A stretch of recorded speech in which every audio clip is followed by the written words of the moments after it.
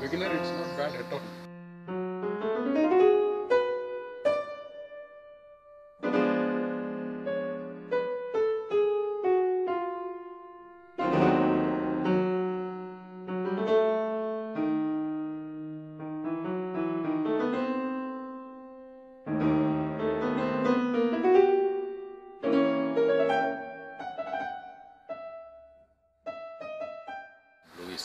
Expansion of your spirit, expansion of the mind. And that's in a way that now I look at it, you know, from your core of your mind to the outside, lighter and lighter and lighter. So that is expressing is very, very important important for your healing, the balance of your life.